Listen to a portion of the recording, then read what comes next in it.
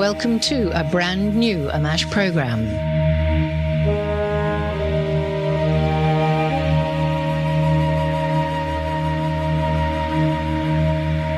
You're in for an interesting ride.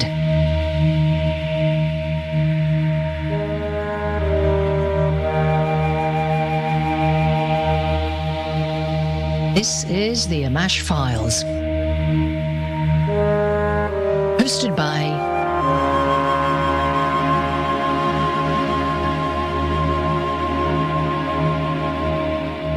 peoplesinternetradio.com.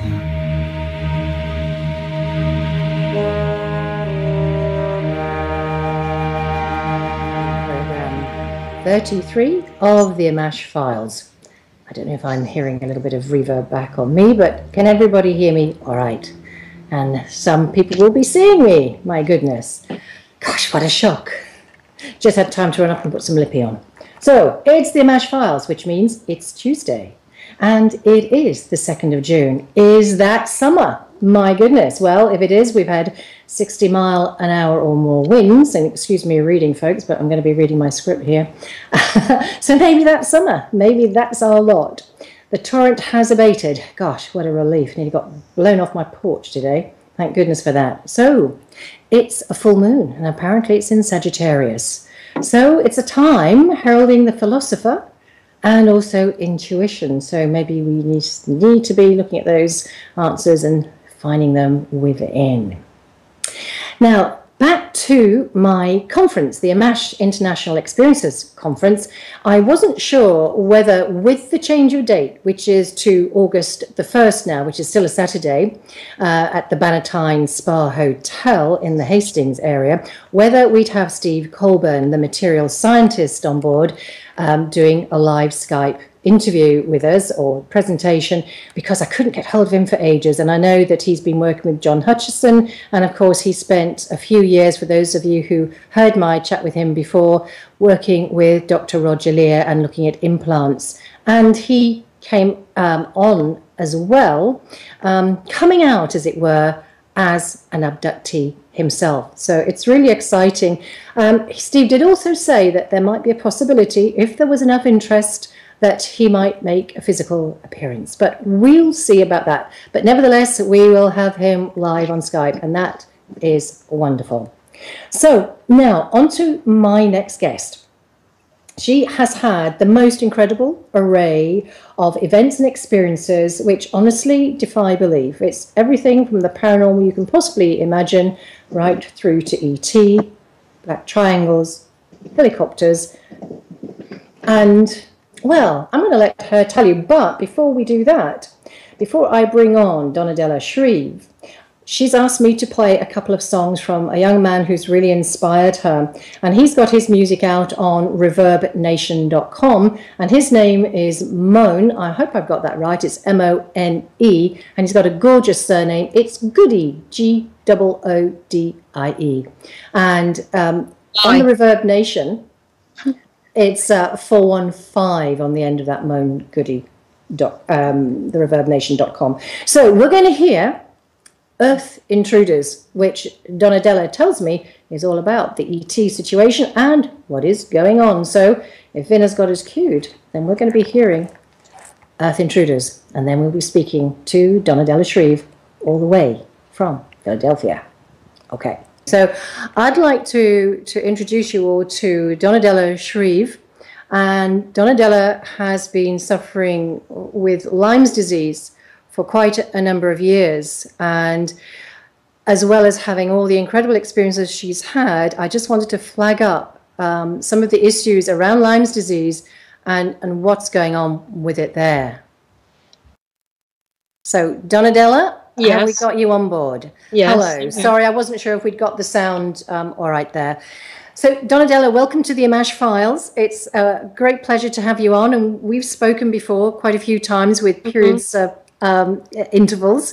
So, Donna, we said we'd just look at Lyme's disease and and how that is, what the cause is, and um, that you actually believe it's uh, used as a bio weapon, and the fact that when you um, got the, it, Lyme's disease is caused essentially at least as I understand it, through um, airborne insects like a tick. In your case, it was a deer tick.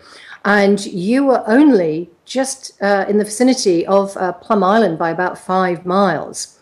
So I think we should just kick off this uh, chat and have a, a look at what that means and what Plum Island is for those who may not know. Um, um, you want me to talk about it? Uh, I do. I do indeed. I mean, well, there's a book about it that people can get used probably um, that's still available, or I don't think it's in print, but I bought it used. Uh, Amazon or other book traders will have it. Um, what is it, Donadela? What, it's it's called Lab 257, which okay. is the name of the lab that was that's right. on Plum Island. Okay. And um, that I read, but actually, I was interested in the eugenics movement since I was a teenager. So I had books that are very old. And I recognized the man's name, Eric Traub, in there, who was the one who was mainly responsible for running the lab that was supposedly under the guise of the USDA um, studying animal diseases, livestock diseases, um, in case we were attacked by another country and our livestock was infected, or you know there was just an outbreak and most of the employees thought that's what they were doing but actually yeah. it should have been under the department of defense and instead they were creating diseases and, and we'll just say that um, Donadela that eric Traub right. uh, oh, was Traub. in fact, sorry, Traub was the right hand man of Mengele. Right. Uh, Hitler's. Um, right. Well, uh, that's when I saw his name. It. I. I said, wait a minute. So I pulled out this old book, and in there I was reading the beginning of the eugenics movement again because I hadn't read it in years, and it's uh, Rockefeller was the main funder, and um, it was the like like 1902 or something, I believe. Right. Yeah. And uh, I think Cold Spring Island was where they built their facility or whatever.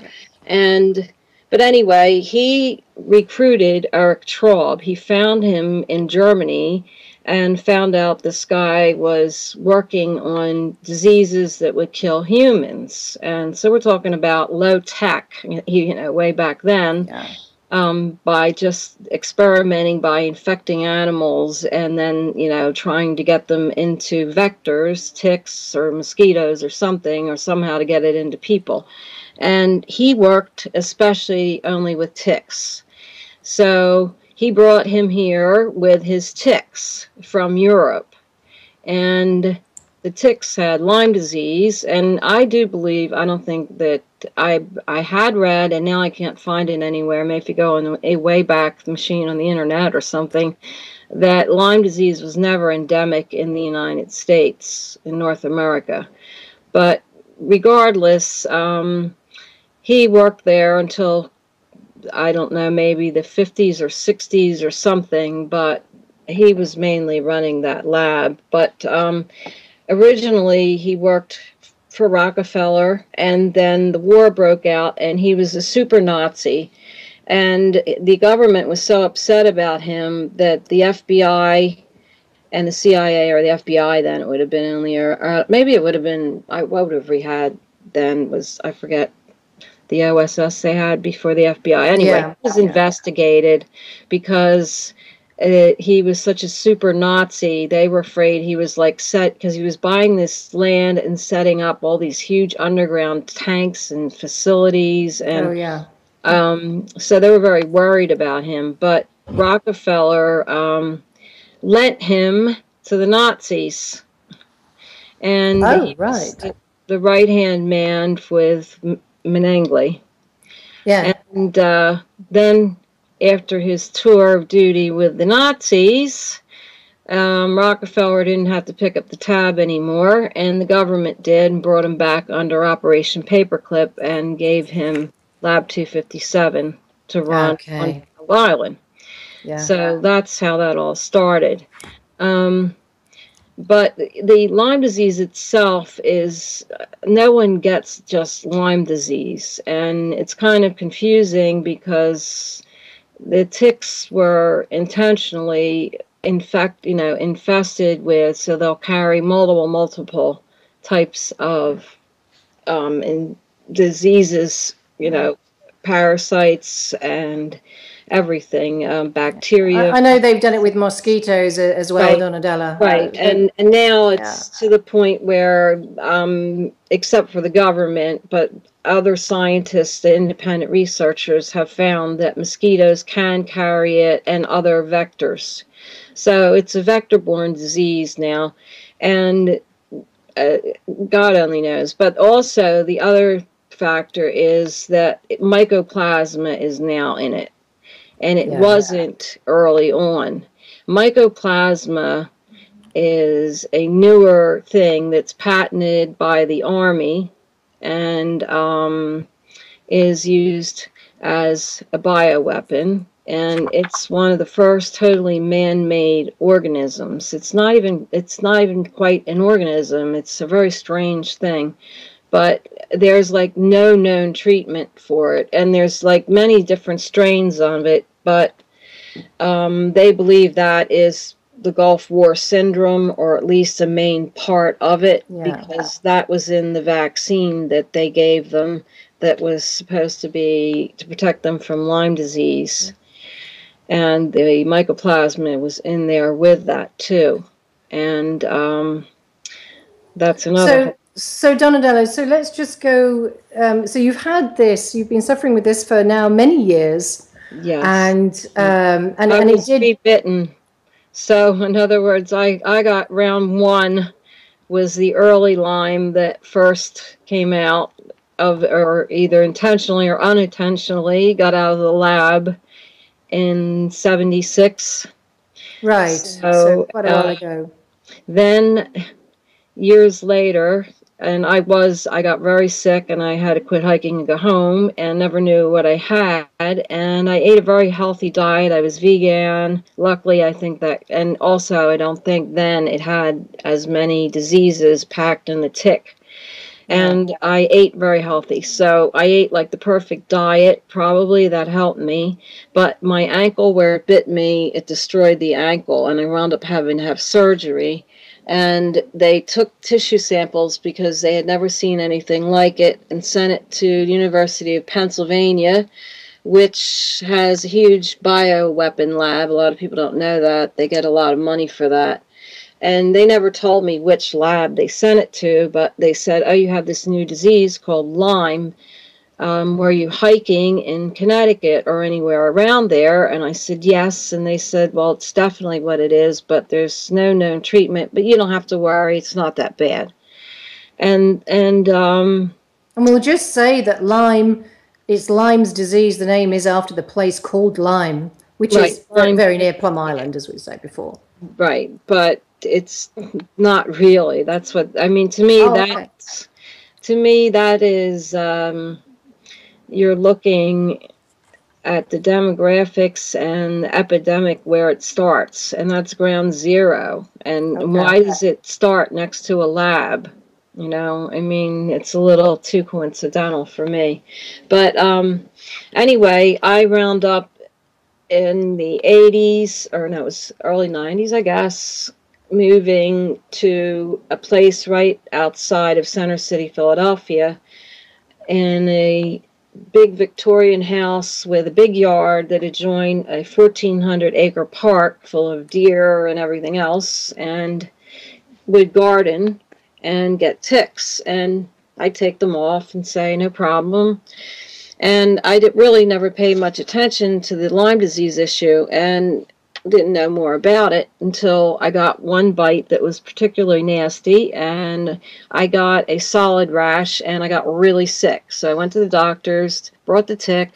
She refused to do anything, test me, even give me oral antibiotics, insisted I didn't have it, gave me a runaround until by 14 days I was better way and then it simmers in your system and then over time all these things just pop out and it just destroys you So I went untreated for several years um, Okay. before I finally got diagnosed. And by then, the, I had the newer, more improved version of Lyme, and I had mycoplasma too.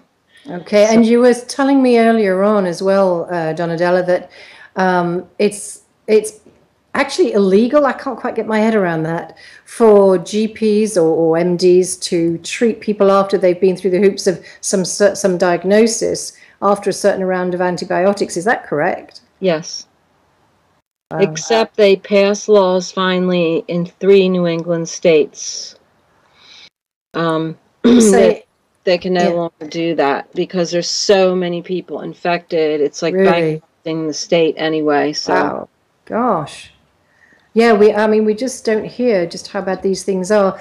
Um, in talking to um, Vin, who is producing the show, he was saying that um, there's a lady who was talking about um, having had, or she knew someone who'd had Lyme's and who'd cured it with natural processes. So I'll put you in touch with those folks after the show as well to see. You know, let's hope that there is something that can come from well, as long as, but the problem is, like even my doctor knew. He said if you have mycoplasma, you'll never get rid of that. Okay. Well, let So- let's see let's see what these other folks have to offer. But listen, let's let's get on with your story Okay. now. I just wanted to sort of set Yeah. set the, the, the pace for people because also, um, folks, just tonight, bear with us. Donadela re- really has a, a struggle sometimes remembering some things, and she's in quite a considerable amount of discomfort and pain. So, you know, if we get a bit slow, whatever, please stay with us and just bear in mind she, she's really doing a, a great job. So uh, I know I said I'd love to just start where I always ask people to start, which is the beginning in their childhood. And you were telling me that you were known as a very precocious child. You had incredible abilities and skills just as a very young toddler. So tell us a little bit about that because that will just set up for the who you Uh, are down the line. Yeah, I I was like I have memories too. Like I can even remember from being in my crib and looking at patterns on the wallpaper on the ceiling and like Rorschach, you know, like imagining what they look like, you know. and uh, you know, I I can remember things that would freak my mother out, you know, and she'd say like, "Well, you were only 14 months old. How did you know? How could you know that?" You know, or I'll look at a photograph and I can tell you what was happening and what day that was and what was going on, and I'm only two. But um, by the time I was two, I could hold a conversation with adults, and I had, you know, full, you know, very full vocabulary, but also, you know, was intelligent and understood. So Mhm. it's like I was a mini adult. And my mother even um, said that my family doctor told her, you know, she's a really amazing child, but you have to remember that she's a child because she she like like I would get myself dressed and ready and go to school for kindergarten by myself, you know. and she wouldn't have to wake me up. I would get myself up and, you know, comb my hair, pick out my clothes and get dressed and be ready to go for kindergarten. And um I, I mean, wanted- you you also said that you were really read. psychic. Right.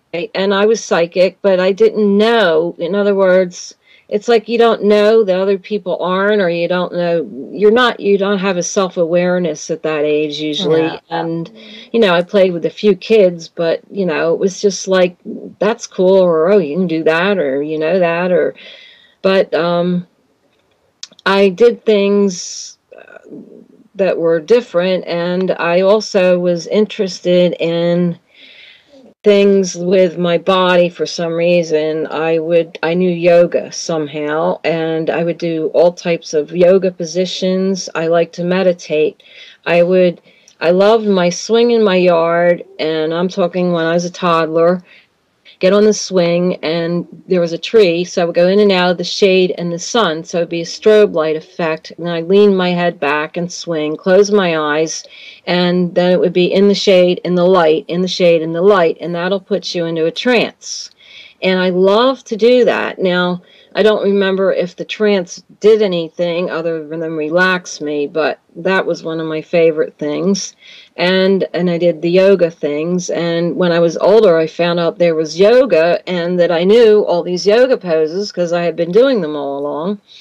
And the other thing I did from when I got a little older was I was interested in pushing my body more towards like it would be um, martial arts, but only for like tolerance against cold, heat, um, sleeping on a hard floor. Um, I mean, it's almost like you were in training for something. Right. And also, I wanted to train myself to be able to see as far as I could behind me without turning my head using peripheral vision. So by training my eyeballs and my muscles, like keep trying to watch my fingers every day I do it, move it, you know, keep moving them back until I could see further and further and further behind me. And also I could sense like if I'm in a room, a small room, especially the smaller the room, the easier it is, but get the feeling of the whole room and where I am in it. And you could blindfold me and everything, but if somebody just stuck their hand in the door and, and I couldn't hear it, I would know my space was invaded. I could sense someone was there. But um, other than that, I mean, I also levitated, but by then I was five and um, I was going to kindergarten. And we lived in a suburb that was a nice little suburb, and it was in the early 60s, I guess. Yeah, that would be. Yeah. And so, uh, so Donadela, sorry to interrupt. I just wanted to not to miss out on the story um, that you were telling me, which is so fascinating about the um, the interaction you had with the Native American Indians and. Oh yes, uh, right. So tell um, us about that. Yeah, I well, we had a creek behind my house and woods. Um, and these were real old mill houses that were built during the Revolutionary, you know, before the Revolutionary War when it was colonial. So we had a colonial home, and they were really cute little mill houses from mill workers. It was no longer there. That the creek was behind my house the mill was on. And my mother would say when I got outside, don't get your shoes muddy and don't go in the creek. So I would go in the yard and play, and there was this big bush. I don't know what it was, maybe what it, what kind of bush it was, but it was big bush at the end of the yard, and then the driveway, and then the embankment that went down into the creek. So I would play in that bush anyway because it was kind of like hollow inside, and I'd go in there and I'd take my shoes off and I'd wait a little while, and she would think I guess I was playing in the bush, and then I would go out the other side and go down into the creek and play. And one of the days when I was playing in the creek, I saw what looked like I didn't know then because I didn't know what maybe I I don't I doubt I would know, but it was an American Indian, and he came out of the bushes and saw me and beckoned to me like he knew me and he did like he knelt down and he held his arms out like your dad would say like hey you know like come run to me you know? And i just ran to him because he's he just appealed to me and he seemed really friendly. And he had his hair i think in a in a one or two braids i'm not sure. He had braided hair though. And he only had like a loincloth on i think and beads or something. I'm not sure how uh, exactly everything he had on. But anyway, I ran to him and he picked me up and then he like swung me around and around like he was so happy to see me, like I was being reunited or something with someone. And then I could hear these women speaking and laughing. And I looked down and in the creek were two women in a canoe and one was an old woman and one was a young woman about his age and they were native americans. And he took me down the embankment and handed me to them into the canoe. And right away they both like fussed over me you know like my hair and you know everything. And it was like they were so happy to see me And then I became friends with them, and I would see them quite often. And I would always do the sneak out of the bush, go down to the creek, and play with the Indians, and never told anybody. And they would teach me about nature. Um, everything has spirit, the rocks, the water, and about animals and how to communicate with animals. And, and it was telepathically. And like they brought me to a nest of newly hatched wild ducks. And they showed me how to approach the mother duck and let me and she let me actually handle the babies and it was really neat you know because you're a little kid and you get to hold little baby chicks and it was just so awesome and then they showed me um, an area where they had gathered clay in the river, in the creek bank. And on the other side it was a real steep bank embankment and it's like a wall almost. And there's like seams of clay in there and it's very high quality clay and um, had very few impurities in it so you could just like take that out and it was like modeling clay like you would buy it in the store and you know i would they told me that they made you know bowls and they would show me you know like containers and bowls and things and but they told me they had to fire them, but they couldn't do that with me, you know.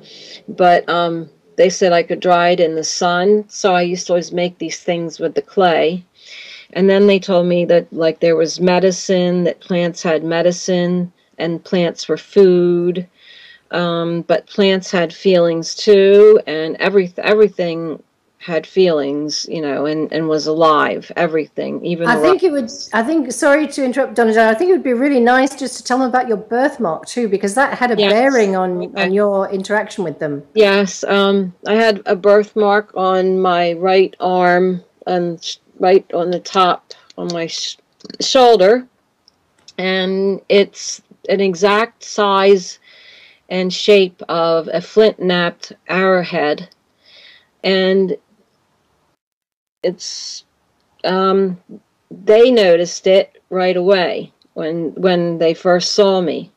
And one day when I saw them, they gave me an arrowhead and they held it up on top of my arrowhead and then gave it to me. And so I skipped away with the arrowhead in my hand when they left. And one of my neighbors that I liked, I used to visit all my neighbors and they were neat. And one of them, I didn't know she was Native American. My mother told me they were Italians. Her husband was Italian. She was a Native American. And she had an herb garden.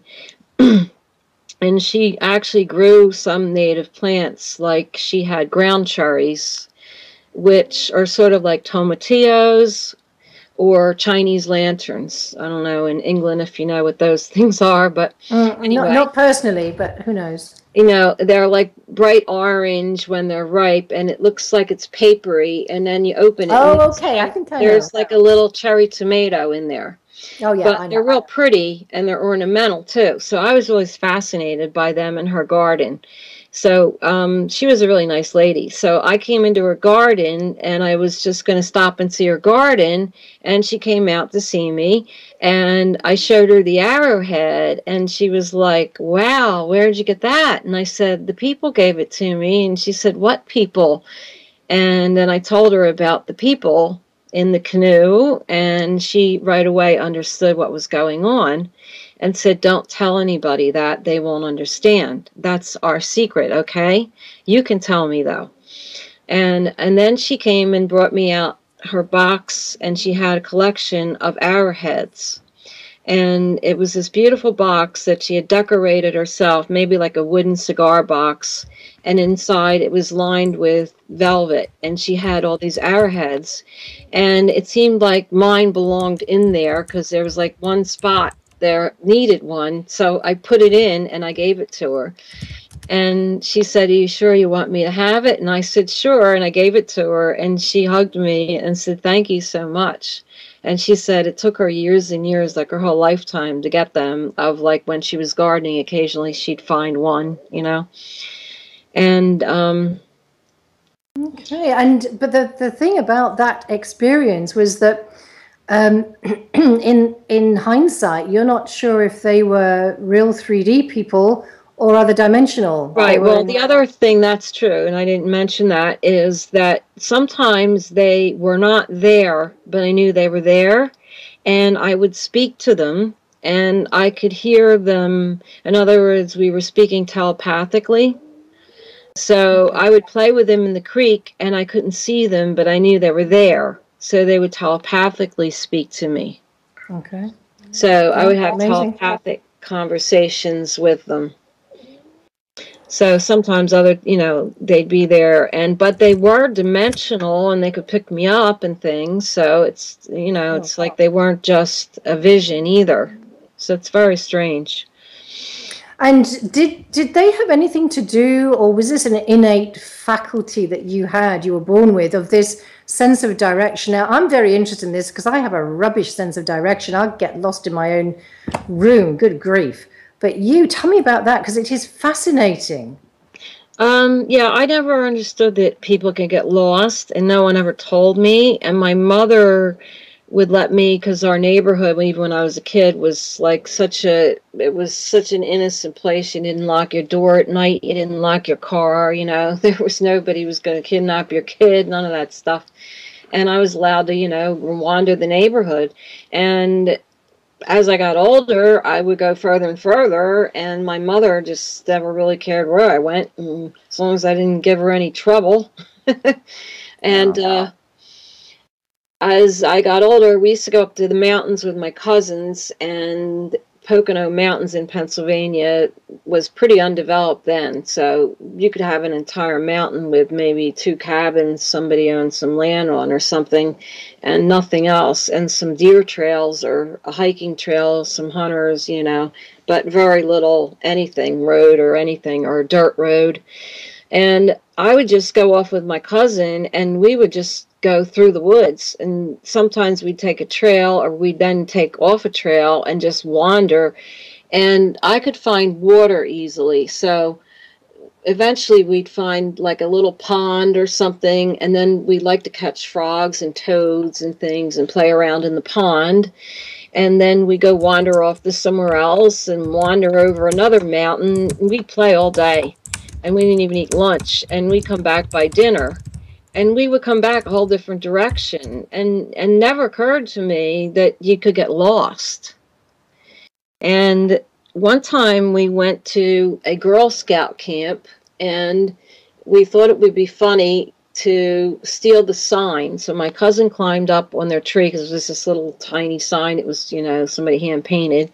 And she whacked it off and we brought it back with us and her father freaked out and said, How could you possibly gone that far? How did you get there?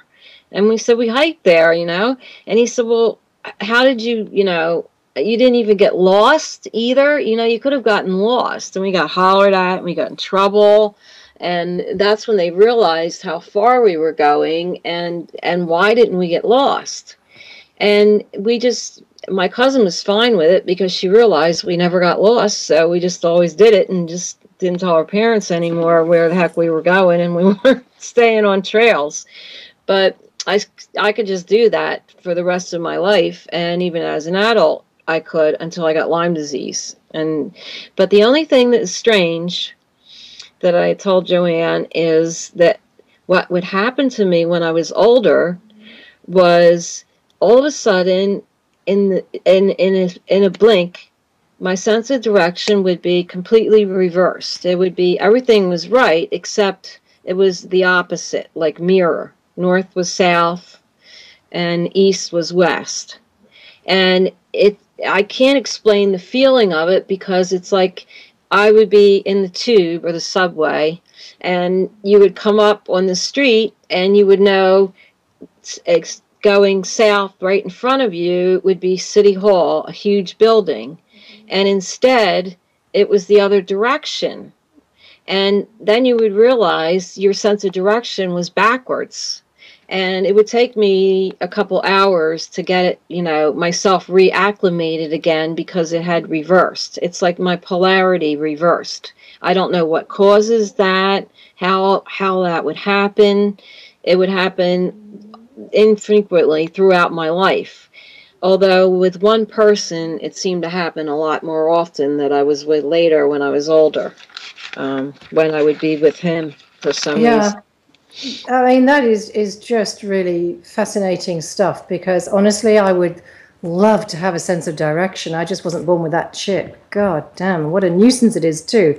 So time consuming. Yeah, no, and I mean, I could even, you know, I never drove, and like uh, when I was older, I was a florist, and we do huge parties that would be out on, you know, out of the city in the suburbs in a very wealthy area. We have called the Main Line, which is the Blue Bloods, the, you know, some of the original money families actually were in Pennsylvania and, the Main Line. And there are some huge estates out there. And at night, too, you can't see driving the roads. There's no signs. They don't want you to find their houses out there. They're in the woods, you know, and they own tons of land.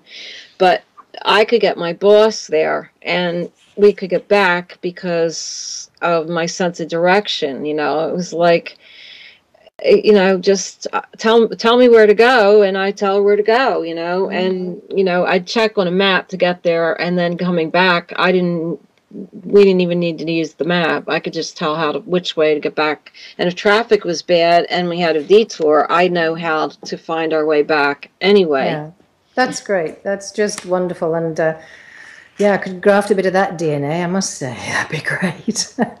If that's So- what it is, I don't know. Yeah. Listen, tell us about. Um, I know that you had some experiences, just going back to the ET thing now, which we haven't really started on them proper, but talking about the Greys. Now, you've had quite a bit of experiences with Greys, and some. There was a being that was slightly mechanical and black. What was that? I, I just haven't got the timing um, of that. What age were you? Okay. I was about two, I'd say, and I got two kittens. And um, one night I snuck out of bed to give him a plate of milk. And I snuck downstairs into the kitchen. And when I went to go towards the refrigerator, this gigantic black being came out and it either materialized or I couldn't have fit behind the refrigerator, but it seemed like it came out from behind the refrigerator or it materialized that way somehow. But it was, it, I'd say maybe six feet because it was bigger than the refrigerator, like by a, about a foot. And it was all black and it made this humming sound and it was metallic. And it wasn't real like robotic looking you know like it had you know like typical robot arm you know hinges or any you know. And i i mean the only robot i would think of then would be probably seeing um the wizard of oz and and the tin Yeah. Man, you know i mean like that that would be a robot. And he didn't look anything like that the only thing you could say that he would look like would be maybe Darth Vader now, but we're talking 1960. So I wouldn't know Darth Vader, would I? But it was either there was a human in there or it was robotic. But I thought it was alive and it was a being. But it still had something, and also associated it with electric for some reason, and it hummed and it had red glowing eyes and it terrified the crap out of me and all i can remember was screaming and running away and i don't remember what happened after that Okay. i That's mean I, I don't know And was was was this around the time when you were also having visitations from little greys who would come and see you in your room? Okay. yes and um my my other brother one brother also had nosebleeds and um we would have they would they come in the room and I didn't at first know when they come in the room, but what would do they do is stick their face in your face, and you'd sense someone there it'd wake you up, and you'd see just their face in your face, and it's very scary. If anybody does that to you, it would scare you anyway. Even a human does that, it scares you. But this is this non-human face with these big black weird eyes and you know this monster face you know. So i thought it was like a monster you know and or a boogeyman or you know like but it wasn't a dream because it woke me up and it's in my room you know. So then i like scream and then it like knocks you out. So you don't remember anything after that and then you wake up and there's blood all over, caked in your nose, and it hurts really bad too. Very painful, your nose. Caked up blood and blood all over your pillow, you know, because your nose had been bleeding. Yeah. And then you remember that the night before that thing stuck its face in your face and knocked you out because you were awake because it woke you up. And my brother also had nosebleeds, although I didn't say to him, like, did you see Boogeyman? And then you got, I, I didn't do that, you know, I didn't associate, I didn't, I didn't, I don't know why. I just, but I know my brother also did get nosebleeds. But, um, so he may have been abducted too because of that. And did, do you have any other memory apart from that the, the grey um, visiting you at your bedside? Did you did you have oh, any memory of ships or? They, Sorry. times they had come to my bedside, but it's always they would stick their face in my face, and that's yeah. when I sensed them. Although later on, I would sometimes wake up and sense they were in the room already in the dark, and I'd be really scared. And then all of a sudden, they'd stick their face in my face. You know, like I'd wake up a little more ahead because I could sense yeah. them. And then they stick their face in my face, and then they like knock you out and take control of you so that you you know don't have any memory of what's going on and then you wake up in the morning and it's like oh those monsters were there and i tell my mother you know and she'd say there's no boogeyman you know of course and then the only other one was the reptilian yeah, I'm going to ask you about that. I thought we you mentioned that. So, again, was this around the same era? And and we're talking yes. about you still being yes. a little child here, no, only, we? Only a toddler, two to four and right, um. I was going up the stairs, and this is a really old house, so we didn't have radiators, and they put a furnace in. I guess there were fireplaces still originally too, but they put a furnace in in the basement and they had heat registers that, that would just blow out but it wasn't like modern heat vent systems these are like big three by four size vents with cast iron covers that were pretty with like you know leaves like victorian like probably during victorian time they had installed it. So it was like a big vent thing with this grate over it with cast iron with like say a leaf pattern you know and the air would come through the hot air to then heat you know come out through the hallway to heat that floor and um, I'm coming up the stairs, and it's daytime. It wasn't nighttime. And when I got to the top of the steps, this thing jumped up and grabbed onto the grate, and its fingers were like sticking through, and it was so agile. It was like a monkey, and and it stuck its face at the grate, and it was dark, so I couldn't see its whole body, but its face and its fingers, you know, was like right at the grate, and it was looking at me, and it was to me like an alligator or a lizard or a reptile of some sort, but it could move like a monkey. It was so agile and it scared the different daylights out of me, but I was mesmerized and I couldn't move. I stared at it and it, it looked at me with one eye and had a slit pupil. And then it hissed and it made this really scary, loud hissing sound. And then I screamed and I ran downstairs and ran downstairs because the house is built in a hill. So the second floor is the living room and the dining room, and the basement is the kitchen. And there was a porch back there, and then there's like the furnace room in the back and storage area and all. It's a very old house. So I ran all the way down into the kitchen to tell my mom that there was some kind of monster alligator thing in our heat grate. So she went up with me to reassure me that there weren't alligators in heating grates. And of course, there was nothing there then. Yeah, my goodness. So tell us a little bit about. So we've. I don't know. There doesn't seem to be. This seems to be a lot of different Well, sort of events coming in and out. when I was five. What What were the conditions of that? What were the circumstances around that happening? I was coming home from school, and because the neighborhood was such a nice neighborhood, like I didn't even have to really stay with my brothers or or they actually they were younger. They weren't going to school with me then. I was by myself. I was going to kindergarten and i would be with other kindergartners.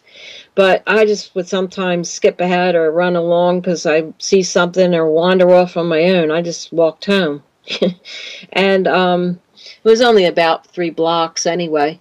But um it it wasn't raining but in the morning it was. So i had an umbrella but it wasn't raining then.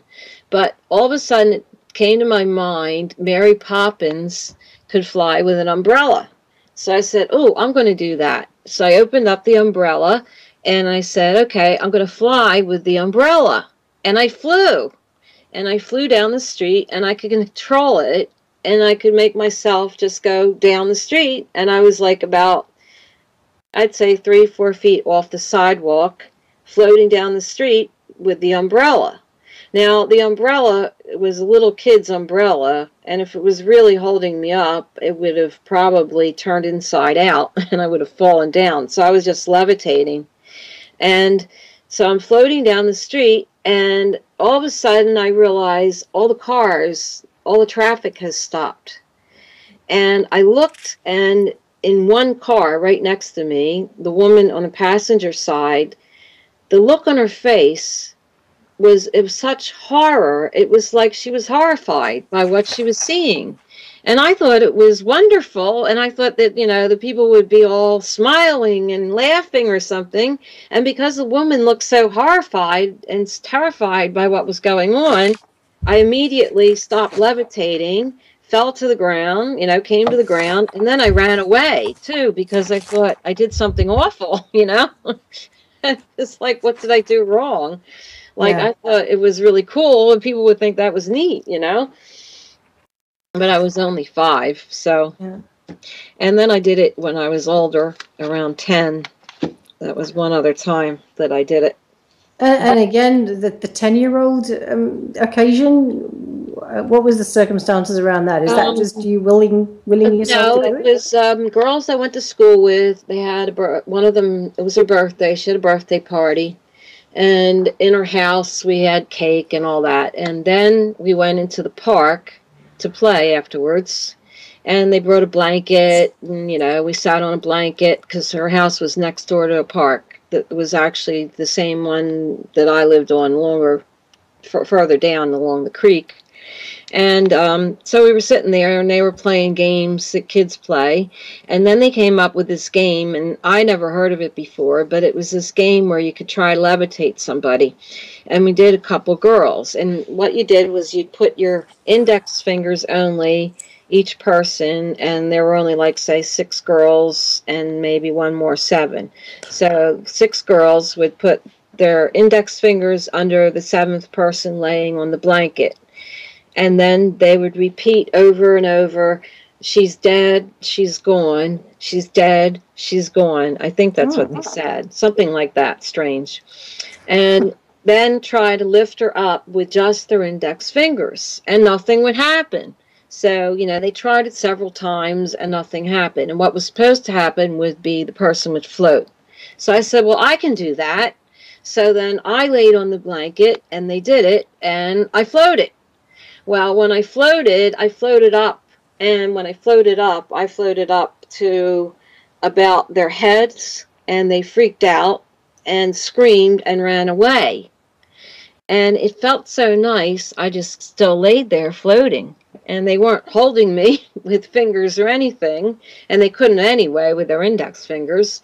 But I just laid there floating in the air. And I said, I don't care if they ran away. This is really cool. I'm floating and I'm laying on my back and I'm floating. And then all of a sudden, these two guys came riding up on horses. And this is in the middle of the city in a park that nobody would have horses. There is nowhere there would be a farm any near near. You'd have to drive in with a, you know, horses in a trailer to get them there to ride them in this little park. And why would you do such a thing in this dinky park? But these two guys came riding up, and it's symbolic too a white horse and a black horse. And the guy on the oh, white horse was tall with long blonde hair, and the guy on the black horse was small with long black hair. And, and he was medium brown skinned, I'd say. And they came racing up to me, and that's when I I was still floating, and I looked at them, and then I, I flipped down and stood up. And they said, We saw you from way back there, and how did you do that? And I said, What? And they said, How, how do you levitate? And I said, I just did it. I said we were playing a game and nobody could do it. And I said I could do it. And I just did it. And they said well how do you do it? And I said I just thought I could do it. And I made myself do it. I don't know. I just did it. And then they said they introduced themselves and I can't remember the one's name ever again but the younger one the black the, the he was younger and smaller anyway on the black horse. His name was Matt. But they said you know they talked to me for a little while and then they left and they said we'll see you again sometime. And i just thought the whole thing was very strange. And then the girls came running back because they were was. afraid of the guys too on the horses. The girls were afraid of them too. And when they came back they said why did you talk to those guys? They're strangers in the park and you don't talk to strangers and they're grown-ups and blah blah blah blah blah. You know i was like well, they were already there when I was there, and they were very nice. They didn't do anything, and they left. But you know, I was only like ten, so you didn't think about it like logically, like why in the heck would horses be in a park? And you know, and um, then about three years later, I was at summer camp, and they took us on a day trip to a state park where there was a lake, and we were swimming, and then we were sunning ourselves on a hillside and all of a sudden, it popped in my head to tell them the story about how I levitated and these two guys on the horses. And while I was telling the story, the girls screamed, and I said, What's the matter? And they go, Is that the guys? And it was them. All right. It was Matt and the other guy. And they saw me and they waved and they came over. And I said, Oh my God, I was just talking about you. And they said, Yeah, we know and um, and they said we knew you were here and we came to see you. And i said oh. And and then they were they were all freaked out. The girls were really freaked out. So then we went to go swim in the water and they had a fake snake that looked so real and freaked out the girls and they all ran out. But i wasn't afraid of snakes. And at first i didn't know if it was real or not but i, I grabbed it and it wasn't real and then they were like, "Oh, wow, you're not afraid of snakes," and you, and you grabbed it, you know, and they were laughing. And then I, I was like hitting them with it and yelling, you know, and we were playing around, acting all wild and you know, horse horse playing, you know. And then then they left, and we left, you know. But it was very strange that how I mention them and they show up, but that's how all all my life things like that happen. When I talk about people, they show up and things, and especially Okay. weird people. Well, listen, um, Donadela, I think we're just going to give you a little break and um, let's come back and talk about the. Um, just look at my notes. The blue, the blue um, monk uh, on the war issue there, and and you, we've got loads to talk about afterwards. I don't know how we're going to fit it all in, but let's listen to uh, Mone Goodie's and he. yeah, you played Frequency the first. Oh, did did we? Oh, then. So that was. I thought that was Earth Intruders. It sounded like Earth Intruders with the lyrics. right. right Oh, right. okay. No, All the, you'll you'll hear it when you play, and the other one. Oh, has, of course, it kept saying frequency. Anyway, it's a brilliant song. Okay. oh well. I No, Earth it right. Intruders is really weird, and it's cool Okay. too. All right. Let's listen to The that. lyrics, if you listen to the lyrics carefully. Okay. All right. Well, Mone Goodie, yet again, thank you very much. And okay, this is Earth Intruders. I think it's right this time. Tell us, tell us. I know I mentioned about the the the um, dreams to do with the, the the blue monk, but I also uh, want to try and get in the fact that you also started being trailed when you were really quite young, and it sort of seemed to continue throughout your life, being observed, watched, followed. Yes. Um, and also to say that in life you became um, quite an activist, an environmentalist. Mm-hmm. And that uh, through the teaching of the Indians, whether they were corporeal or not, I'm not sure, but it doesn't really matter. But you told me one time a gorgeous story of how you would could walk into the woods and you could call to the animals and the birds, and really, it's a bit of a St. Francis of Assisi moment. They just come to you. Yes, if I go alone. I mean, how beautiful.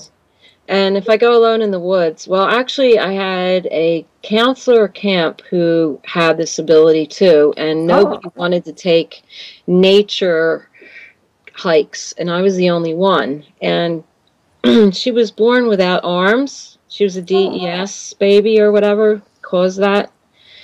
Um, and she had artificial arms, and she was a beautiful woman. And she taught me how to call animals psychically like the Indians. And it was like I was picking up from where we left off almost, you know, like there was a span of five years or so that I had, you know, or 10 years, not, not I was 10. So maybe about six years since, you know, the Indians. And then here's this woman that says, let's go in the woods. What do you want to see? And I'd say, a fox. And she says, okay, well, let's go over here. We're going to sit on a log. Now think about the fox. Just think about the fox. See him in your mind. Think about the fox and see him in your mind. And the fox comes and she says, now just sit very still and and and talk to him with your mind, but don't talk to him with your mouth. Just talk to him with your mind. And and then it came back to me, you know, how the Indians had taught me. And the fox would just come right up and sniff us. And she said, don't pet him and, you know, don't grab him or anything, but just let him come around us, you know.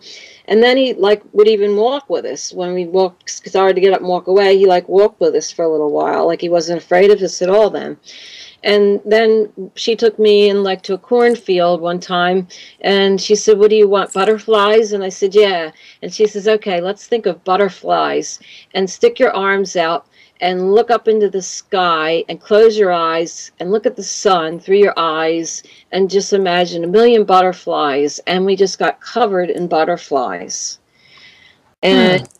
Everything, anything you wanted, you could get if you think about it, and they'd follow. And even now, birds will sometimes not be afraid of me, and sometimes I think they're injured because they just stop and won't and they look at me. Birds will look at you sideways because they can't see straight on. So if birds really making contact with you eye contact they will turn sideways and look with one eye and it's kind of through the eye too that you're speaking telepathically usually you use eye contact with an animal and um, with the bird, I would see a bird. Like one time I saw a robin, even when I was an adult in Center City, and he was hopping along, and then he just stopped, and I thought, well, maybe he's injured because he's not flying.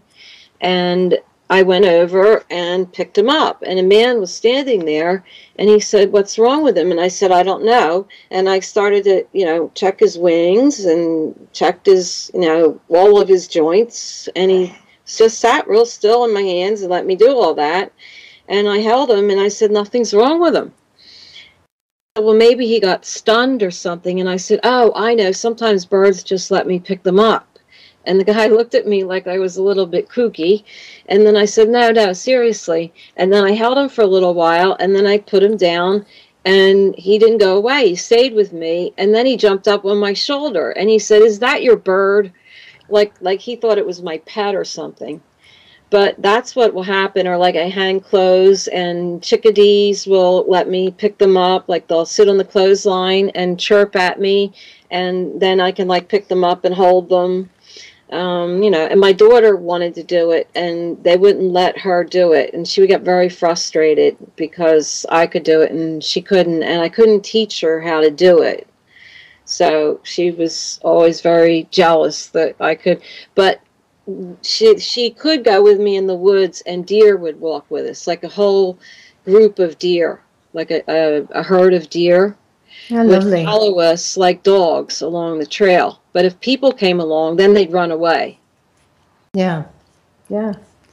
Okay, well, listen, let's get back to then some of the um, ET events because mm-hmm. I'm just looking at some notes and we've mentioned the one I'm thinking of is where you were with your boss. Now, I know we haven't set the scene for what that is, yeah. but um, I think that is just an amazing story. So, um, t- walk us through that abduction scenario. So, mm-hmm. yeah, that- well, I I had you know never had normal cycles, and I had problems from the very beginning with that that I could go three months at a time and I'd have to go to gynecologists all the time and they'd say, uh, you're pregnant.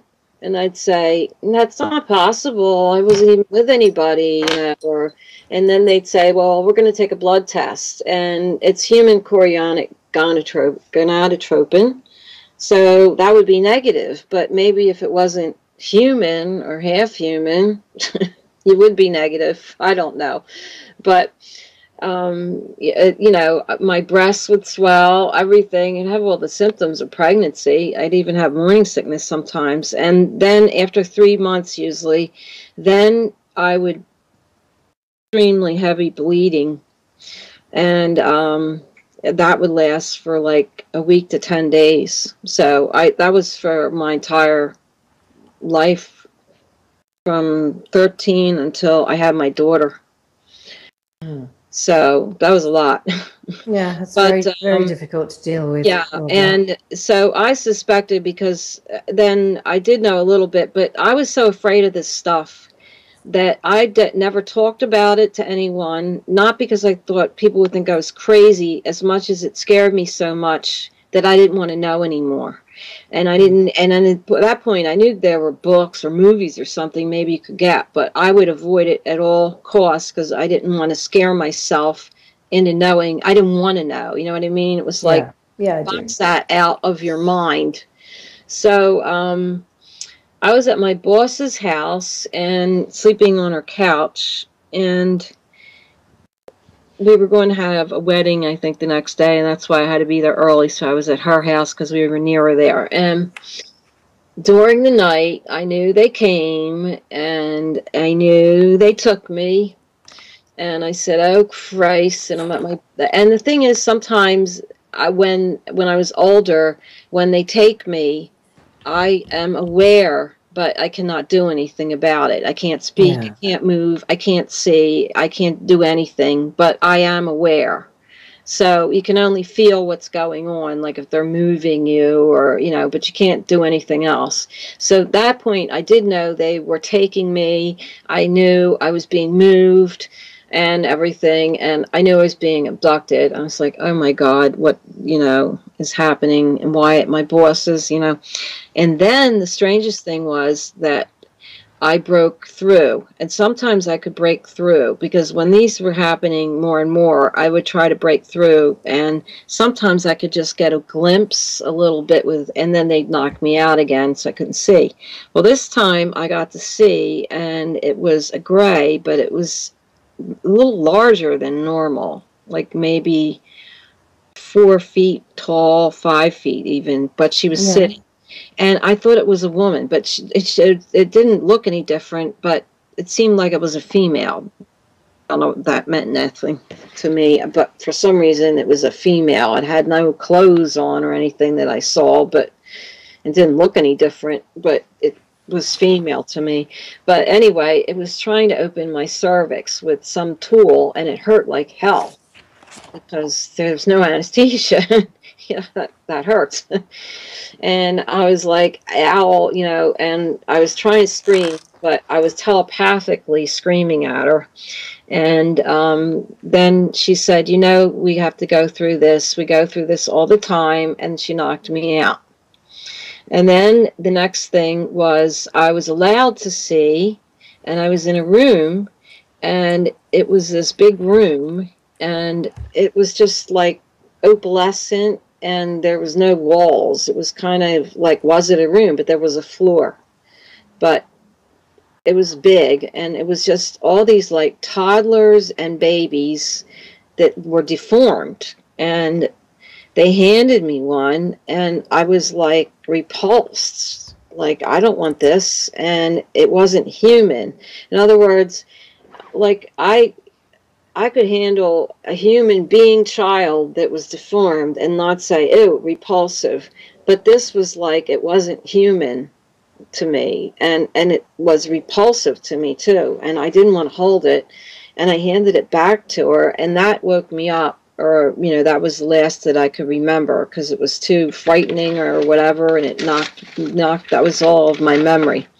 I mean, you said there were a lot of these children. Did they were they all ranging from were they all babies or were they some of them No, babies there were toddlers, some- some toddlers. and, Okay, I didn't quite babies too. Yeah, yeah. but there were a lot of them. Uh, like so and you know when you said they were I think you said in our chat before that they were pretty horribly they looked horribly deformed. I mean, were they did they look like they were disabled? no, no, I would say They're no. They're hybrids, but then Yeah. no, for sure. And and also, Mm. I think I did associate that they were probably hybrids, and that freaked me out so much that they did that, and that that could possibly be true. And if that was half mine, and it was such a horrific thing they did genetically, you know, that it was horrific. That that's what it was. That was was so repulsive. It was. And ha- have you had any other encounters with any of the well, the genetic offspring? no. Um. No. No. And but then um in the morning I woke up and my boss came downstairs telling waking me up telling me I just had the weirdest dream. Oh my god, I had the weirdest dream. And I said, "What?"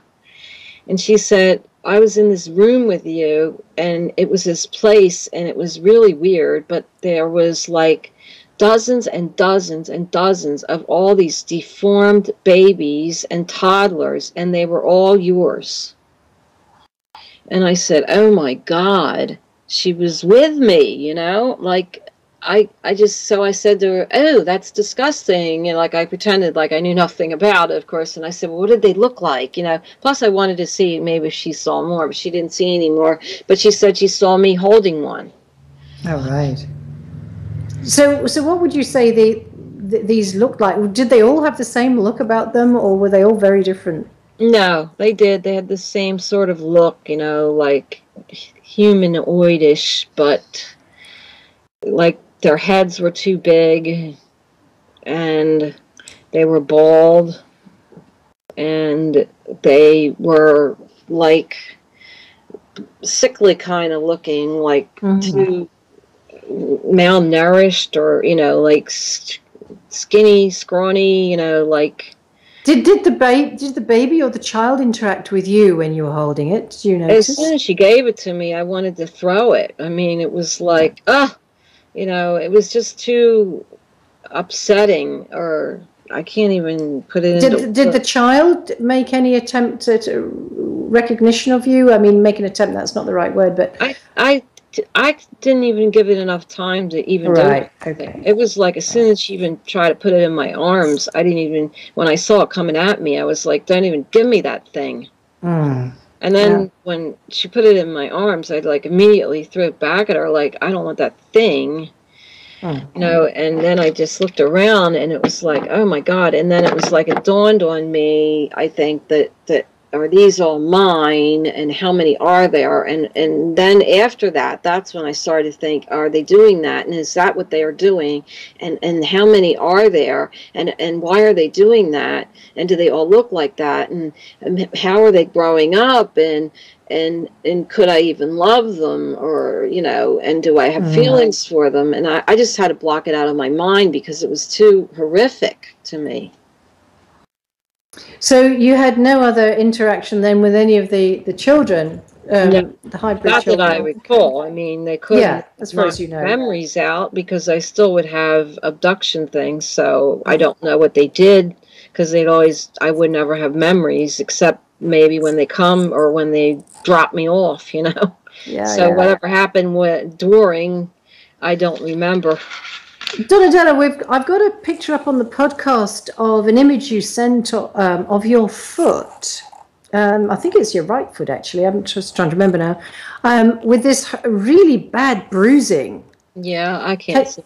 Can, can you? No, you won't be able to see it, but it's Yeah. the picture that you sent me of that. Can you just tell us a little bit about that? So when people go there and have a look um, for Oh, the okay. podcast. You want to put that up? My ugly toenails. That's the Lyme disease, actually. Um, I, my dog kept signaling to me. Well, first of all, I was. This is even before that. I was in the living room and I saw a man out of the corner of my eyes running up the steps onto my porch. This was about four years ago now, or three years ago, and. Um, he was looked like he was from the 1930s maybe and he had on a trench coat and hat and he was running up the steps but it was like in the wrong motion like a 35 millimeter film on jerky you know. Yeah. but it's the corner of my eye but i definitely saw him go by so i jumped up to look and there was nobody there and then after that my dog kept signaling to me especially at night when we come out, my front porch, that's a big Victorian house, had you could go to the left. There were steps down to the driveway if you wanted to go to the car, or straight ahead steps down, and then a sidewalk that went out to the street. You know, and the one I would go would be the sidewalk out to the street, and we had a huge lilac bush and a butterfly bush there, and she would keep signaling to me that someone was there. She could see something, and her hair would actually stand up. And she was so horrified, she would sit and refuse to budge, would not go down the steps, would not go that way off the porch. And I would, you know, go, What's the matter? Nothing's there, you know? And it would freak me out. But, uh, you know, and sometimes I'd force her. And one time she actually pulled herself out of her harness. And you know, but nothing happened. And then one time she signaled again, and this time, the next thing I knew, I was I was coming falling out of the sky, and I was about at least ten feet falling down when I realized I was falling out of the sky, and I could see my dog laying on her side on the sidewalk, and it was nighttime, and I came down with my foot straight down my one foot. And my other foot was sort of like up and behind me i guess. And the way i landed was like a ballerina pose but my one right foot was my toes were pointed straight down hit the sidewalk and folded under the whole weight of all my body and then torqued my other leg around under me so i had a really bad injury to my tendons in my knee there. And i had to go to the emergency room for that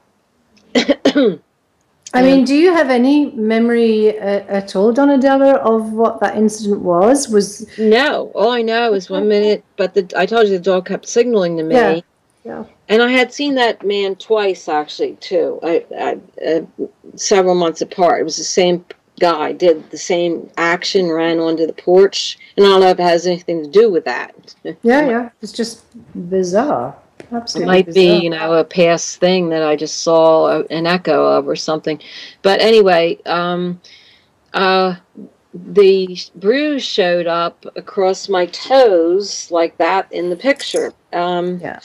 And when I went to the ER, the guy said to me, You couldn't have fallen off the porch if there were three steps and you fell down the steps. And um, did you catch your foot in like the step and bend your toes in there? Or he said, Normally when you fall, you fall forward, you put your hands down, and you would have like a wrist injury or you would fall sideways. Like he's like, he's arguing over, I didn't fall over the porch. and I didn't want to say I fell out of the sky, but he was like, "Oh well, I just scratched his head." But they X-rayed my foot and my knee, and luckily nothing was broken except a small bone in my foot that he said that they just put a like a boot on to keep it immobilized so it would heal. And um, then I had to wear a brace on my knee, and um, I took a picture of it, but. Um, And did that heal pretty quickly, or how was that? no, it didn't. It didn't heal Oh, quick, okay. and my toes hurt That's really weird. bad. You couldn't even touch them. But Oh, um, then I was watching one of your videos one night, And on the side on YouTube, sometimes they show you, you know, suggest Yeah. something else. And I said, normally I don't pay attention to those things. For some reason, caught my eye, and it says something dumb like abduction in Canada. Like, boy, I would really go for that one.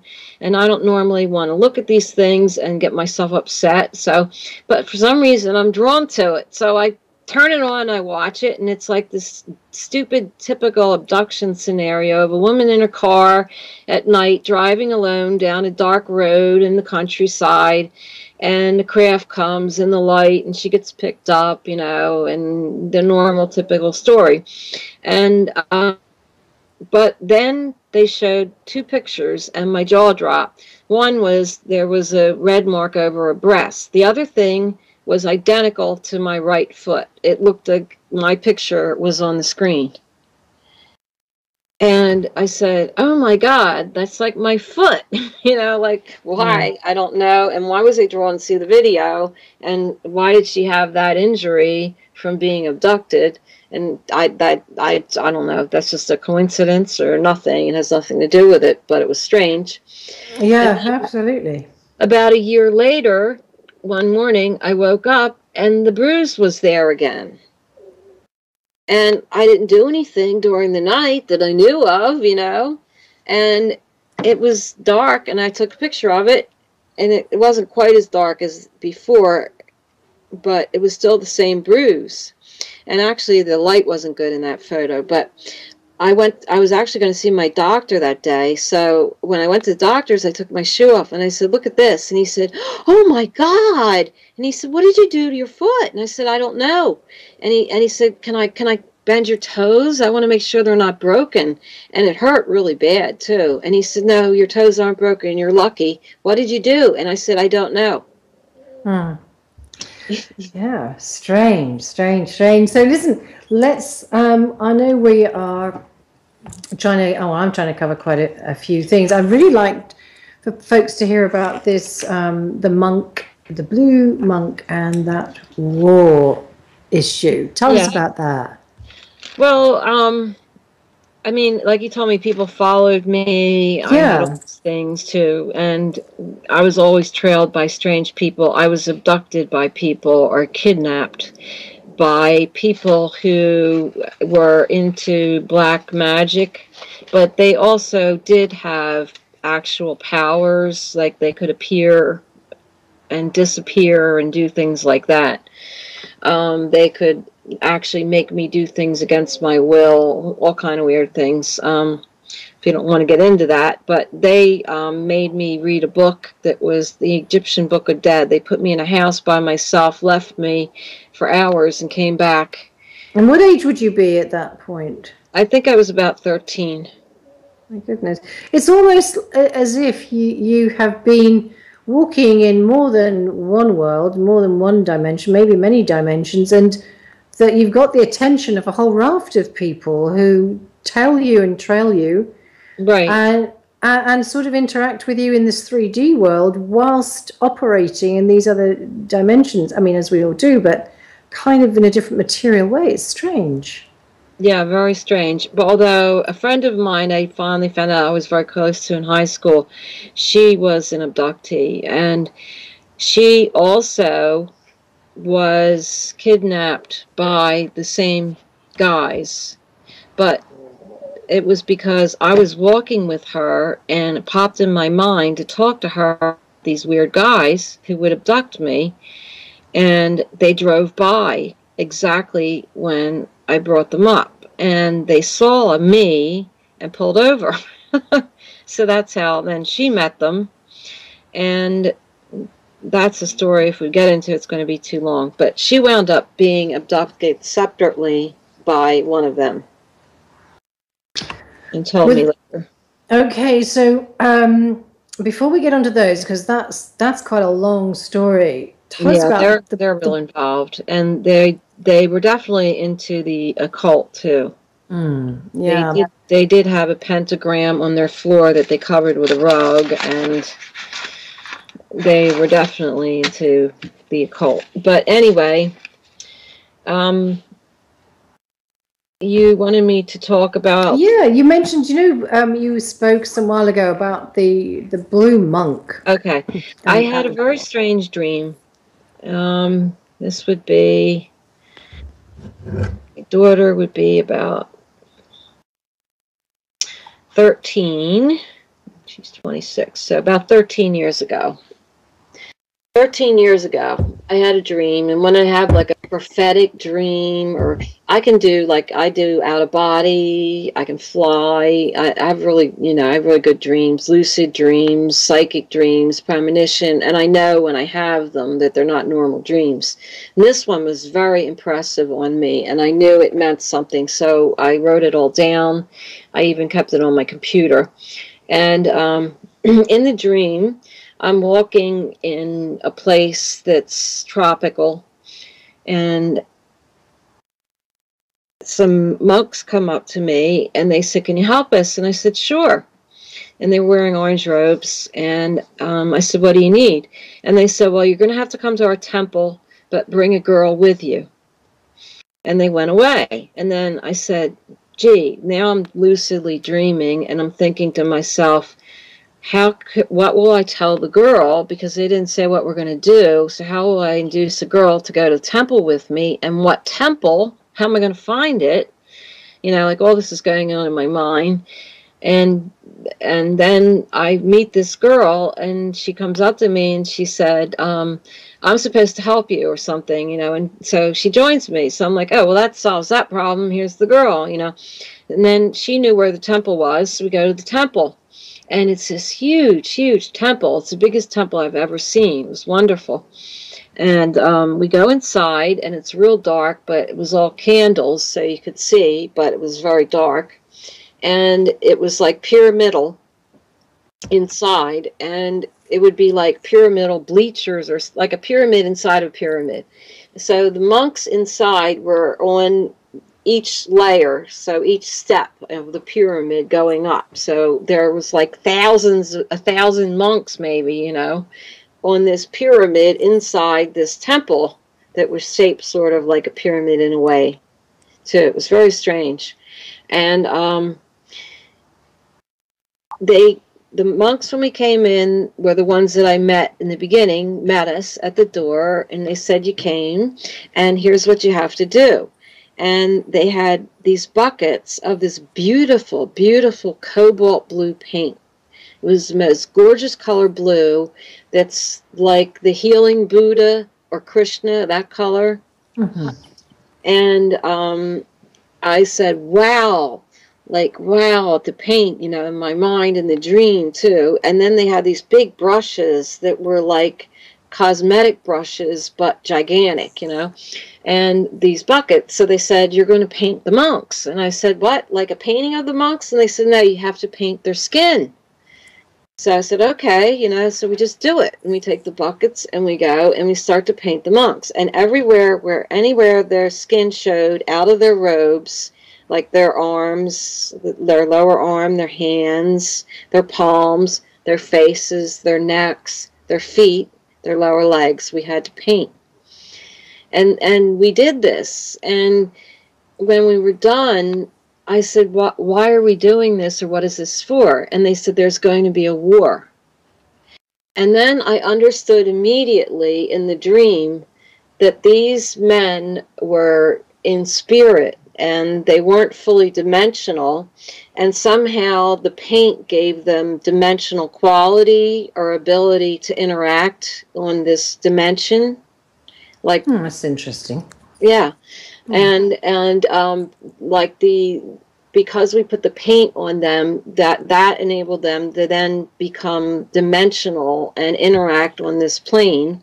And they said that it, that it was going to be a huge spiritual war, and that that we did our part to help them and I was very happy about the dream. You know, it was a great dream because it was like, wow, like some good people are going to come and help the friggin' screwed up planet. You know, if it comes true, and I would hope I, you know, and I never have any, uh, you know, like I think I'm God complex or anything like that. I just think I'm weird, and I don't tell anybody you know, all this stuff because they'll think I'm insane. But um, what happened later was, um, well, that's another person that I wish we had a show. I could just talk about the guy I dated, Gustavo from Mexico, who was an Indian in Mexico, who was actually, I guess you would call, sort of a shaman, because we have our stupid words for things, and I don't know what he would call it in his Indian language. But he was trained um, from their traditional he was an Indian. He wasn't mixed Spanish or any blood, except a great grandfather was Italian. Very nice looking man.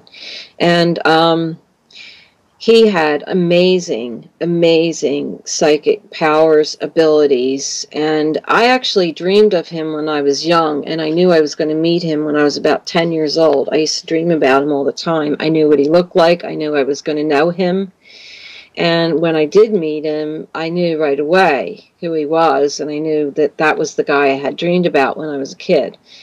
But um, I was with him, and we went to, I took him to the University of Pennsylvania Museum in Philadelphia, which is a very uh, waspy old institution that would be almost on par with the Smithsonian, like second the Smithsonian for anything to do with cover up and archaeology.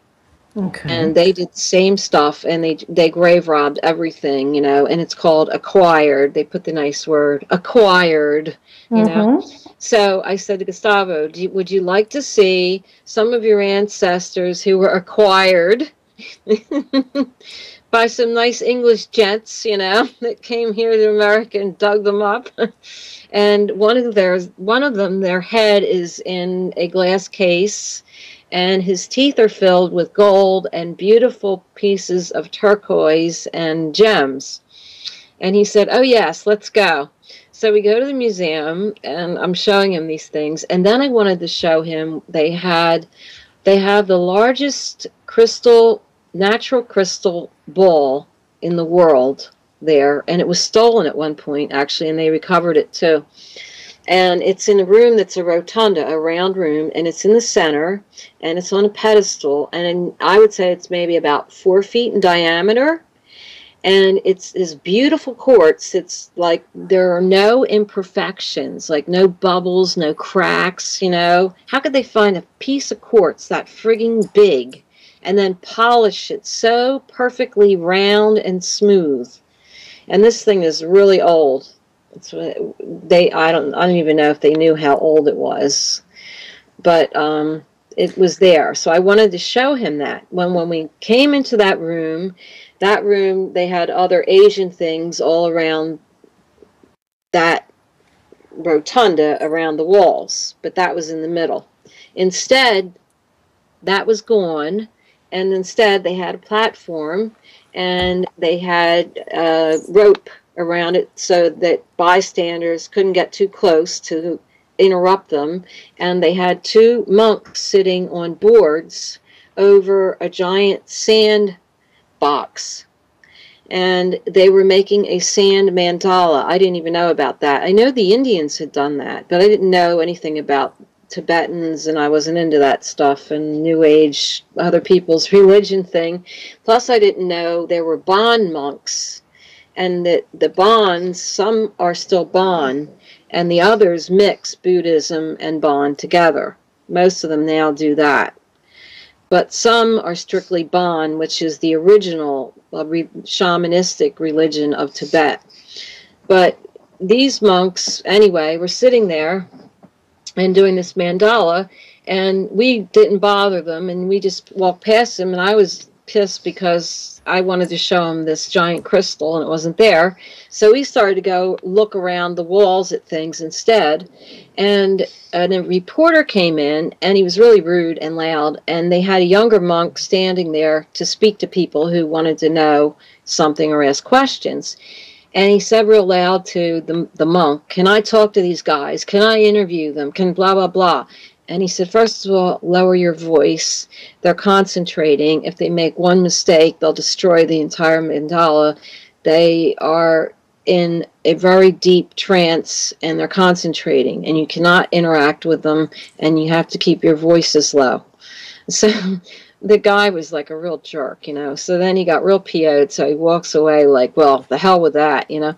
And but he didn't leave and he stood there and he just watched. And then the monk came over to me and I uh, and Gustavo and he said, "Excuse me," and we said, "Yes." And he was a young guy, and he said, um, "The monks want to speak to you." And I thought it was very strange right away. And I turned and I looked, and they were staring at us. And I thought, well, I thought they were supposed to be concentrating on the mandala, and they were in a trance, and they don't speak to people. And you know, the whole thing didn't make sense. But anyway, I was like, well, I'm very, you know, cordial and nice, and I'm polite and nice to people. And I said, sure.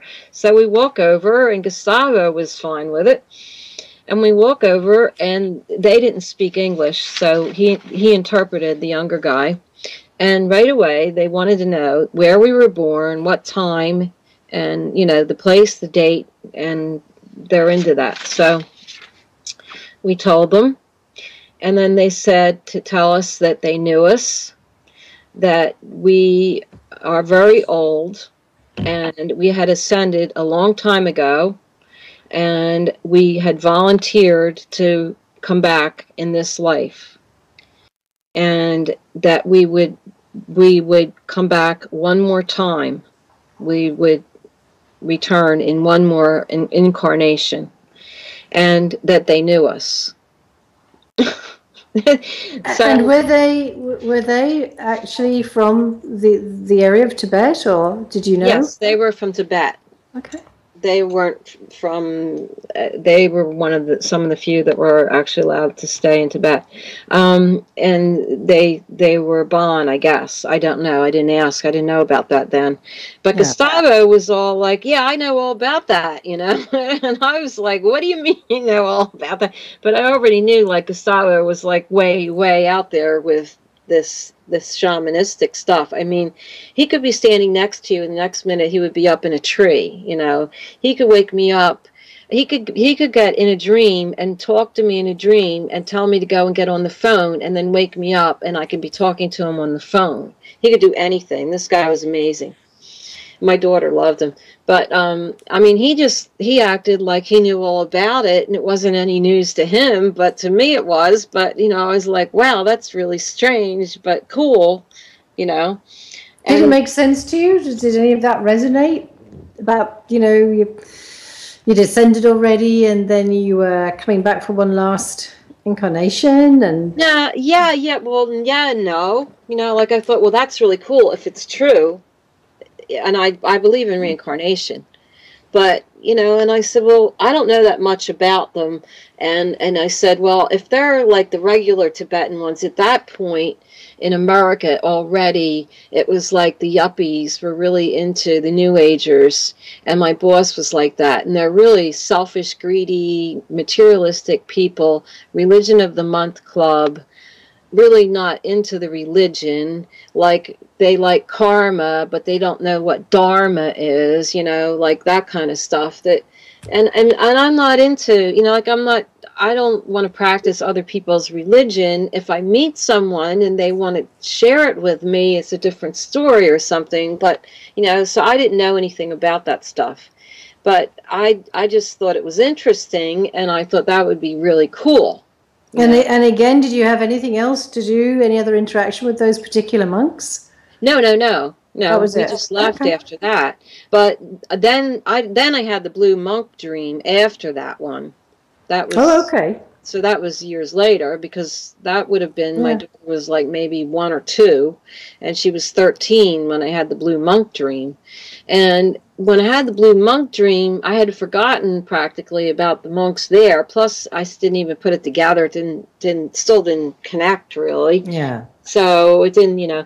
And then, um, about two years later, a friend of mine had a party, and a friend of hers who is a Santera, and she's psychic. She was trained by her grandmothers was at the party, saw me. She's a, a wonderful, gifted artist, too. And What is a Santera? I'm not familiar. It's Puerto Rican. Um, it's from Yoruba. Comes from Africa, and it's practiced Okay. in all the different islands. And in Okay. Jamaica, where also I was called to Jamaica by people who practice the same religion, and it all comes from Yoruba in in Africa. Is is, is was the original name of the religion, but as they you know were taken as slaves and then mix and you know and then mix in they actually mix in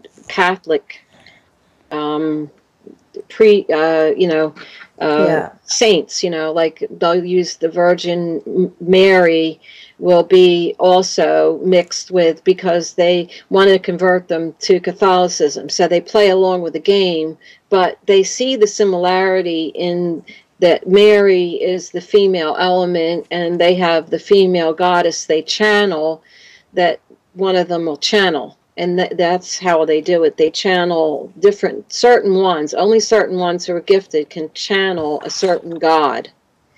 And they have certain ones. So and and they they sound similar. So in puerto rico it'll be you know shango and then it's chango in jamaica or something you know. So it's very similar. Yeah. But they're they're I, don't know if they're completely aware unless they study that they do this you know but Okay. it all comes from one root thing Okay. Listen, Donadela, we're we're just moving on in time. We're well anyway really she wanted me to meet her because she said she knew i was psychic and she knew Hmm. i had all these poltergeist things and this stuff she knew all about me so she told me to come to her house came to her house and she knew all about my life. But another day she called me and said i have somebody here i want you to meet. And she picked me up and brought me over and it was another monk. And he was a Bon monk. And he did my birth date again and where I was born and again. And then he said you are a very ancient spirit. You ascended a long time ago. You do not have to reincarnate anymore. You voluntarily reincarnated. He told me again. This and and then he said you'll reincarnate one more time. And he said it, it, um, you will be a lama when you reincarnate the next time. And first I thought he meant an animal, and then I realized, and I said, not like the Dalai Lama, and he says, no, not the Dalai Lama, but a lama. And he said, it's a lamasery, like it's like you're under the lama, but you're the head of a lamasery. But he said you'll be a lama though, and and and I was like, wow, you know. And and he said, now I want you to tell me one dream and only one dream. So I told him the blue monk dream, and I felt embarrassed. and he totally understood it. He said, he said, he said, that's exactly right. That's what's happening, and that is why you're coming. And he said, and look at this. And he pulled his orange robe aside, and underneath they wear cobalt blue, the same color as the paint like they have like a little shirt thing they wear underneath. And, and And did he say like, that had a specific meaning? Hmm? Did he say that color had a specific meaning? No, uh, no, it was like he just wanted me to see the blue was the same Okay. blue or something. Like I, I was not. It's just I can't explain. It's just so everything is always so strange. Like I just my brain pops. You know, it's like the guy's like going to open his robe, and why is he open his robe? and then you see the blue, and it's like it's the blue, and that's what I said. That's the blue, you know. And then he laughs, and he's like so child. They're always like childish. They're so innocent and sweet, and he's like, he says no. He says no. You're you're you're in this. You're going to be in this. This is this is why you're here. And he said, so "You're that you were there, what to understand that you were coming back, or to develop certain and, skills? And that my next incarnation will be the it, it's a spiritual war really in the end it's going to be it is a spiritual war i mean it's not necessarily in the bible you know the way they wrote it Mm. and it's weird because there's this weird technology shit involved that you can't imagine but actually a lot of that's acquired through alch- alchemy or black magic too. Yeah. So it's Donna Dellas, I, I wanted to just talk a little bit about some of the um, the physical uh, impact that your energy field has on things around you electrically, and also this this um, experience you had of a blue. Uh, I can't remember. It was a blue beam that was actually emanated from you. yes. Oh yeah, and another Tell one us about too. that because it's just you know there's so many Yeah. elements to your life that are just Um, plain bizarre. I don't know, maybe if it's like post abduction does it or what, but sometimes I will blow out consecutively every light bulb or switch that I touch to a light, every one as I go through until I do five, you know. And sometimes it'll be so bad the bulb will actually explode, like the glass will explode, you know, when I turn the light on. Mhm. and then one uh, sometimes like if i get near metal a blue bolt will shoot out of my finger and ground to the metal and it hurts. It's really bad the shock. But my daughter actually saw it one time because i was going to make breakfast and it was an electric stove but i had a metal frying pan and i was going to make eggs or pancakes or something and i didn't even touch it yet and my finger was at least a foot above and this blue beam shot out of my finger like I was Wonder Woman or something, you know. Boom, and she saw it too, and it hurt like hell. And I yelled, "Ow!" You know, and she said, "Wow, how did you do that?" You know. and, And so, I mean, do you, was there anything else that precipitated that? You know, this no, no, blue no, it's just, and also I can't wear watches. They any kind, mechanical, battery. You know, they they go backwards, forwards, stop. That's the only other thing that's strange about me that I don't know if that's you know thing that's common. But it is I- fairly common, actually, with with um, yeah experiences. Yeah, it is. It is. I mean, I never heard of it. Um, that's the, you know, one of the strange things. I mean, I have so many that it could just go on forever. And poltergeist activity, that is just never ending. And, you know, but at one point it was so bad that I had to have monks come and help me get rid of them and but and psychics and all kind of people but um I mean, I I've seen so many things that physics just nothing is solid. First of all, I understand that now. Yeah. It's just all par- particles, and they resonate, and there's a frequency that keeps them together. and there's a way you can change the frequency, and then they're not together anymore. That's how you can make you know all of my silverware come through my sil- ceiling you know like I, I could see this happening in my house you know and that went on for two years without stopping. And um, You, know, mean things coming through solid objects going through other solid objects? Is that Oh mean? yes, and and also Hmm. my cats that upset me very very very much, very very much. Well, what was that incident? I was sitting on my couch and I was reading, and the three cats were there, and one was sitting on the back of the couch, and the other two were laying one on either side of me. And next minute, there were no cats. And I heard them meowing like they were petrified and they were somewhere trapped. And I'm going, Where are you? Where are you? Where are you? Where are you? And I'm like listening for where they are. And I found them, and they were between the back door and the storm door. And our door was solid oak.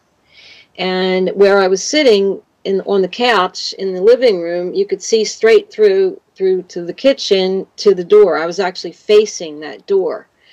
And I didn't see any cats go flying anywhere. They just disappeared. And then suddenly they were s- somehow shut between those two doors. And I mean, if you opened them and tried to throw them in, they would keep jumping out anyway. You know, like you couldn't do it. I don't Yeah. think. But they were all three jammed in there. It was horrible. And I thought, that's horrific. You just put animals through a solid object. You know, like, what if you killed them? You know, like, I got so upset about that. And it would also dress them up horrifically and in the most horrific looking things like death shrouds over their heads. Or Do you mean they'd suddenly appear with with that? yes, and and um, or or it would be like a blur in front of your face over the cat, and you'd see like this blurring motion, and then the cat would have this like somebody's pantyhose on its head, but it was wrapped around and around and around and around and around and around, and then under its neck, but it would be all smooth, and its head was just uh, covered solid, and it and it was real tight on its neck too, and you'd have to get it off quick because it would strangle the poor cat. But it would look like like it was like a death shroud or something. It was like And it, and again, did anything did anything happen to to kickstart all of that kind of horrible activity off? Uh, that was the triangular black UFO that showed up over my house. Okay, so we, we haven't And- mentioned that. So when are we? Where are we in time with the black triangle? Was that recent or was that No, quite a long time um, ago? that was my daughter was maybe about six or seven. Well, we're just coming Yes. to the end of the, the show, Donadela. So um, I told you it would go fast. So let's Yeah. uh, hear, hear that story and then we'll just um, wrap it up with that. But it's been absolutely fascinating. Gosh. Yeah, well, I was looking out the window. Well, I had black helicopter problems too. We can talk about that another day. I have all kind of problems. Now I get abducted by helicopters, I believe, but I don't think they're helicopters. Um, anyway, this was a night that there was supposed to be a comet or some other type of event. And um, it was, I set an alarm clock and I got up at like three in the morning and stood on my windowsill, opened the top window. It was summer, and stood actually put my upper body out because there were trees so I could see better and see on the horizon in the right direction wherever this event would be a comet, or you could see a planet really well, or there was an eclipse. I forget what it was. And I'm standing there waiting and looking, and all of a sudden I felt like I had a duck, like something was going to hit me in the head and I looked up, and there's this craft, this big black triangular craft just sitting there. And it was silent. And yet, you know what? I didn't tell you that. And it actually, I felt like it was sentient itself. Not that it was alive, either it was someone was controlling it but it was sentient and it could interact with me the craft itself could sense me it was sentient the craft somehow and even though Yeah. it was living it was i couldn't explain the feeling Yeah, I've heard of that before too, Donadela. i don't know how to explain that mm-hmm. and it did have lights but i don't know if they moved or it was different lights going on and off. And I think they were white and blue and either red, I don't remember, or orange. I can't remember the colors or anything. And you know, I don't I didn't even write it down. I wasn't into that stuff, you know. I was like I don't want to remember anymore. It scares me so much. Anyway, I stood there and stared and stared and stared and I don't know how long I was there. I was like just frozen by it because it was there and and it it just like froze me, you know. And then the next thing I know, it started to move, but it was like it was gliding like a glider. I mean, it didn't make a sound. It just silently and slowly just glided. And it was only about 20 feet above because the tree across the street from me was that tall and it just touched like the top branches and brushed them a little bit and you could hear the leaves rattling and see it touch a little bit you know? And then it, i kept watching it and it slowly went off as far as i could see towards the horizon.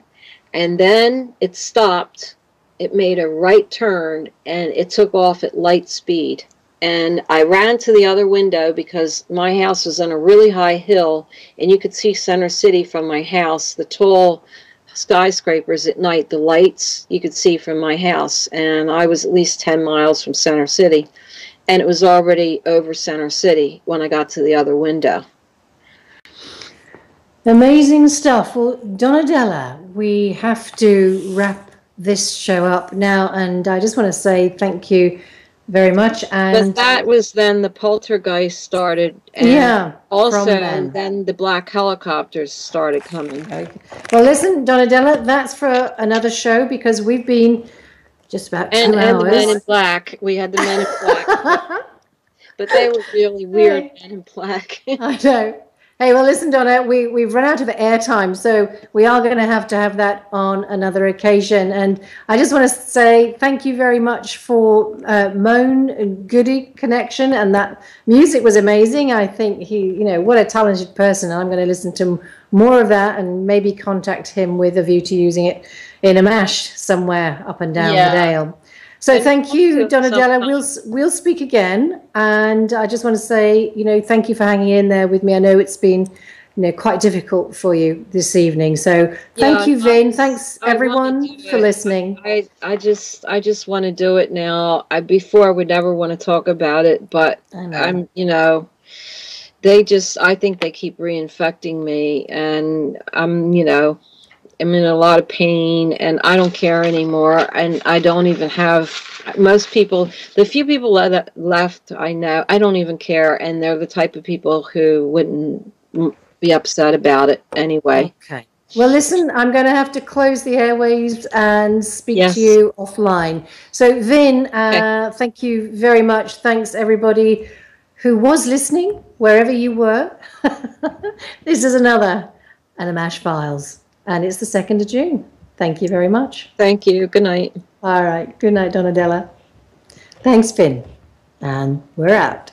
You have been listening to the AMMACH Files. The AMMACH website is www.ammach.co.uk or www.alienabductionuk.com. The email address is ammach at hotmail.co.uk and the AMMACH mobile helpline number is 0795 1752813. The YouTube channels are The AMMACH Project and AMMACH UK. The Twitter name is also AMMACH UK. Thanks for listening. And if you have enjoyed or found helpful the AMMACH presentations so far, please consider supporting this important project and resource by donating what you can. And once again, thanks for listening.